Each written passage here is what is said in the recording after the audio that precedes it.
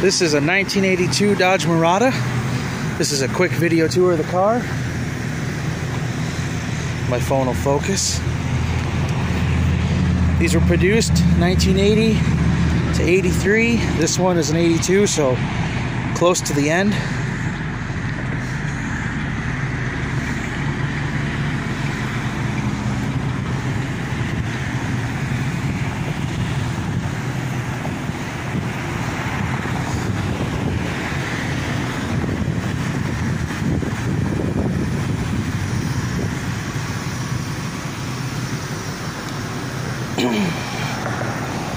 Four matching tires, newer brakes front and rear.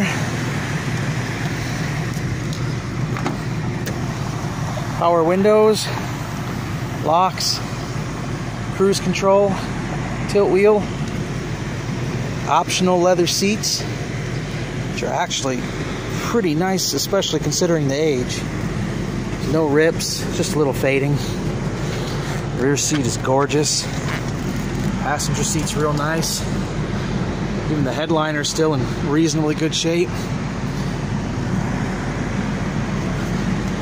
The steering wheel has a couple cracks, but compared to most of these steering wheels, I should show you my uh, Reliant, this one's in really good shape. Automatic transmission, storage console.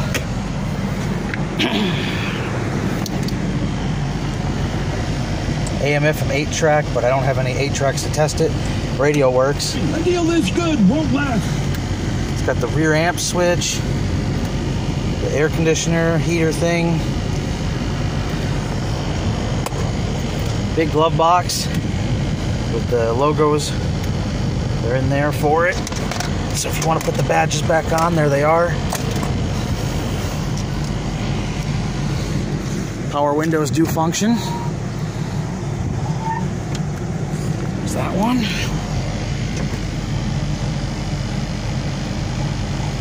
And that one. No warning lights on the dash.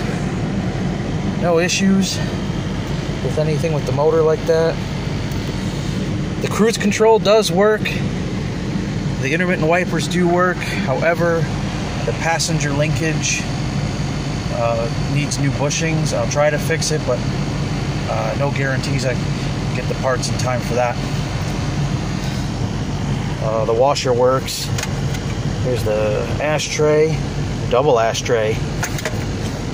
I'll show you under the hood.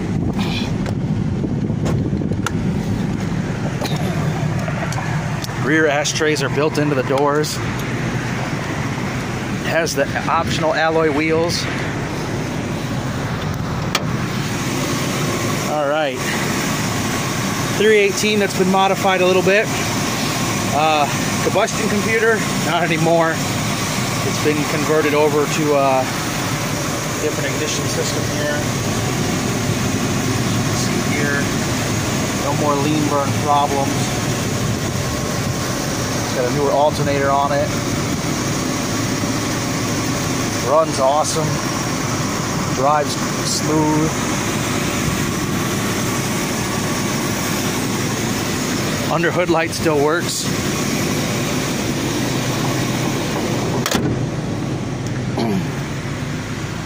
hit the gas and hit the key and it starts right up just fine.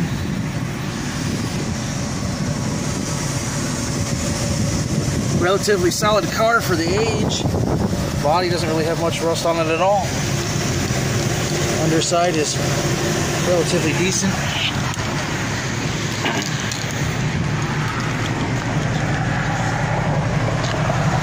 Here, it's in pretty good shape.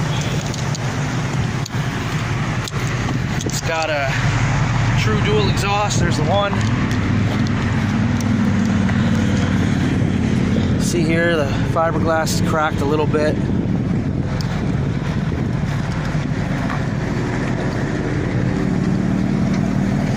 There's the other for the exhaust.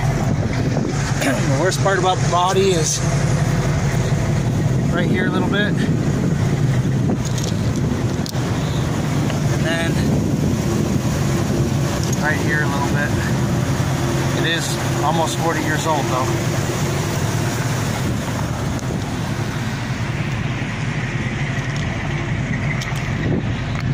I don't know what that is, but it's funny.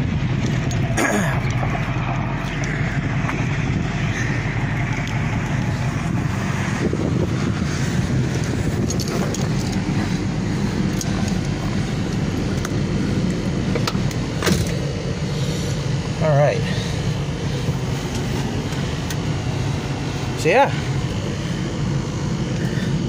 sun visors. They're in decent shape too. Go for a quick spin here. Turn the fan off.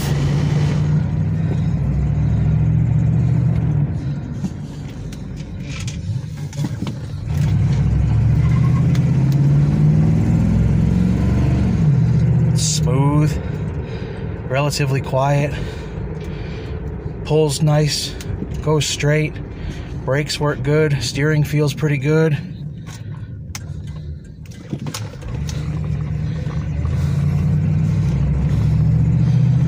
Power steering on this thing is like effortless. It's really cool. Here, I'll show you. Pinky finger, right? Do do do do do. Like nothing. Do do do do do do. don't make cars like this anymore. The personal luxury coupe. Or I think the advertisement used to be uh, America's driving machine or something like that. But this would be a great car for uh, for someone who wants to uh, remember how things used to be. Around these people here. And uh, just until uh, I think it was 2009 when the Challenger Coupe came out again. This was the last rear wheel drive coupe made by Chrysler. And I mean, if you really think about it, it is the last rear wheel drive coupe made by actual Chrysler. So, how about that, huh? It's a pretty cool car.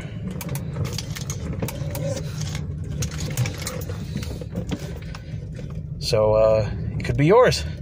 Thanks for watching.